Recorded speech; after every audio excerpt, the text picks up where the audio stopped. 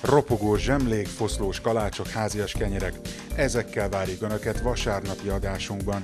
Megnézzük, hogyan működik Magyarország egyik legnagyobb sütőipari vállalkozása. Gastrotúra vasárnap délelőtt 11.30-kor itt az RTL Klubban.